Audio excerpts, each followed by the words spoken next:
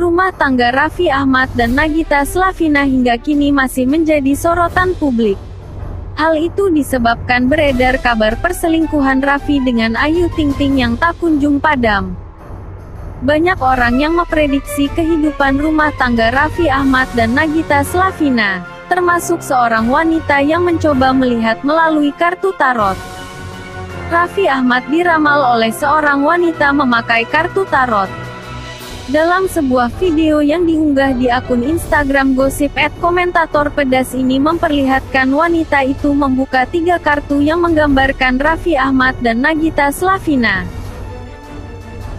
Kartu pertama dan kedua menunjukkan Raffi Ahmad dan Nagita Slavina merupakan pasangan yang sangat cocok.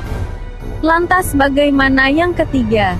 Kartu terakhir adalah setan yang berarti sang pengganggu. Kalau dilihat setan di sini gambarnya laki-laki dan perempuan yang ada ekornya.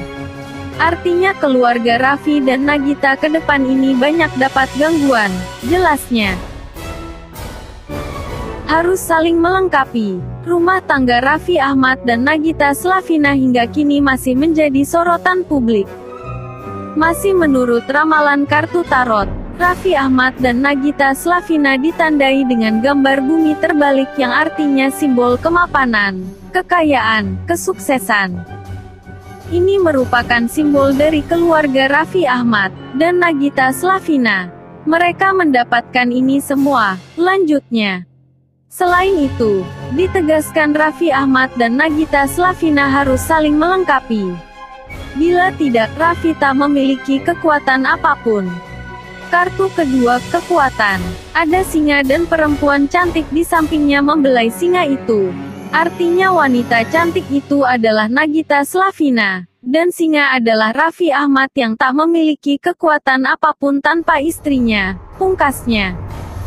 Sampai berita ini diturunkan belum jelas apa komentar Raffi Ahmad ataupun Nagita Slavina. Jika ditanya wartawan, Raffi sering kali anggap sepi komentar orang tentang dirinya dan rumah tangganya. Harmonis dengan mertua. Isu perselingkuhan Raffi Ahmad dengan Ayu Ting Ting hingga kini belum juga reda. Seolah ingin menampik dirinya tak harmonis dengan keluarga, Raffi pun mengajak mertua untuk berlibur. Belum lama ini, mereka pun memilih destinasi Dubai sebagai tempat menikmati waktu senggang. Dan ini merupakan pertama kalinya Rieta Amalia kembali ikut liburan bersama Raffi Ahmad dan Nagita Slavina.